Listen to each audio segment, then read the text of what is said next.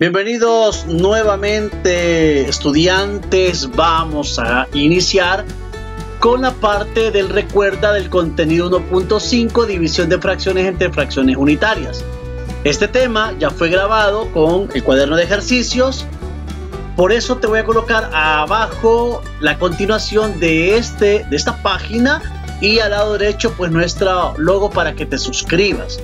Vamos al recuerda número 1 un listón de un metro de longitud se cortará en listoncitos más pequeños de longitud 2 novenos metros cada uno.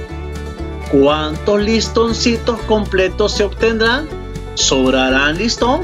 Bueno, vamos a dividir en este caso el metro entre lo que son los dos novenos metros.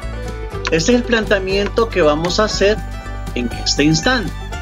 Esto es lo mismo a que tengamos 1 por, hacemos el recíproco, 9 medios. Estamos. Ahora, 1 por 9 medios es 9 medios. Si hacemos la división de 9 entre 4, perdón, entre 2, bien dicho. 9 entre 2 a 4, ¿verdad? 4 por 2 es 8. ¿Sí? Y 9 menos 8 es 1. Entonces esto es igual a 4 un medio.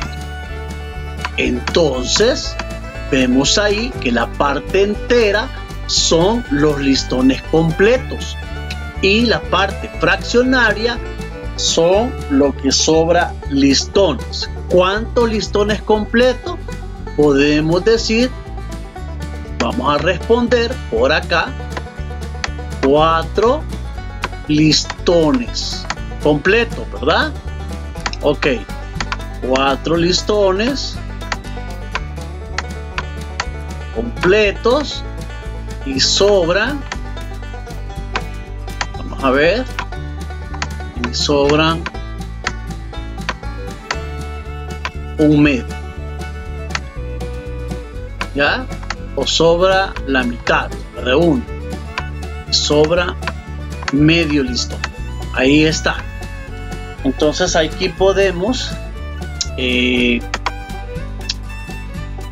dar la respuesta. Este sería la respuesta para ese caso. Entonces, ¿cuántos listones completos se obtendrán? Cuatro listones y sobra medio listón. Ahí lo tenemos. Vamos a efectuar, simplifica cuando sea posible. Vamos a realizar 6 por la multiplicación de 3 séptimos, es decir, 7 tercios. Entonces, el recíproco de 3 séptimos es 7 tercios. 6 por 7 tercios Simplifico, tercera 1 y tercera de 6 es 2. Entonces ahora multiplico, 2 por 7 nos da 14. Este sería el resultado. Y vamos al último.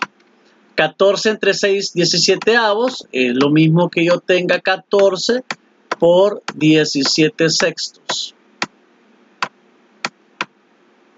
Vamos a ver por acá. Voy a simplificar tiene mitad de 6 es 3 y mitad de 14 es 7. Ya no puedo seguir simplificando, entonces voy a multiplicar 7 por 17. 7 por 7, 49. Luego 7 por 1, 7, más 4 que llevaba, 11. Entonces 119 tercios. Este sería el resultado para el ejercicio del literal P. ¿Estamos? Bueno. Espero que te sirva. Al final te dejo el video de la continuación y al lado derecho nuestro logo. Saludos y una